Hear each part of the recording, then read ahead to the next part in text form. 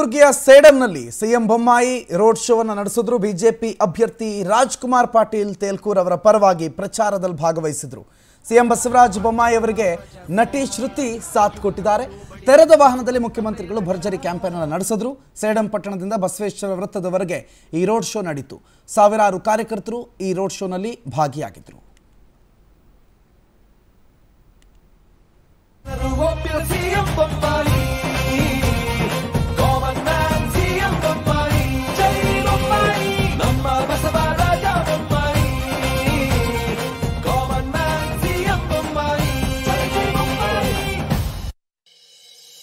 ದಿವಂಗತ ಶ್ರೀ ಅಟಲ್ ಬಿಹಾರಿ ವಾಜಪೇಯಿ ಹಾಕಿದ ಮಾರ್ಗದಲ್ಲಿ ಅತಿ ಉತ್ತಮ ರೀತಿಯಿಂದ ಆಡಳಿತ ನಡೆಸಿ ಸರ್ವ ಜನಾಂಗದವರಿಗೂ ಒಳ್ಳೆಯದನ್ನು ಬಯಸಿ ಜನಪರ ಯೋಜನೆಗಳನ್ನು ಜಾರಿಗೆ ತಂದು ಪಕ್ಷವನ್ನು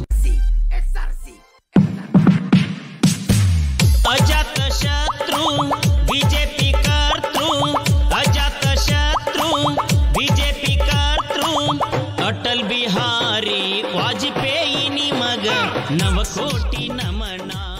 ಮುಖ್ಯಮಂತ್ರಿ ಬಸವರಾಜ ಬೊಮ್ಮಾಯಿ ಅವರ ರೋಡ್ ಶೋ ಅನ್ನು ಗಮನಿಸ್ತಾ ಇದ್ದೀರಿ. ಸೇಡಂನಲ್ಲಿ ರಾಜ್, ರಾಜ್ಕುಮಾರ್ ಪಾಟೀಲ್ ತೇಲ್ಕೂರ್ ಅವರ ಪರವಾಗಿ ಮುಖ್ಯಮಂತ್ರಿ ಬಸವರಾಜ ಬೊಮ್ಮಾಯಿ ಇವತ್ತು ರೋಡ್ ಶೋ ಮುಖಾಂತರ ಮತ ಪ್ರಚಾರವನ್ನು ಆಗಮಿಸ್, ಮಾಡಿದ್ರು.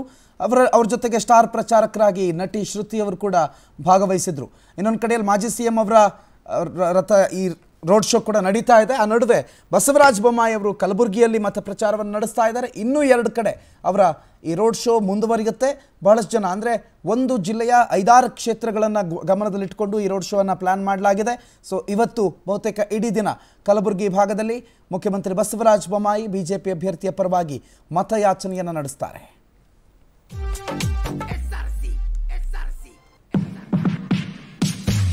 ತಂದೆ ಕೃಷ್ಣ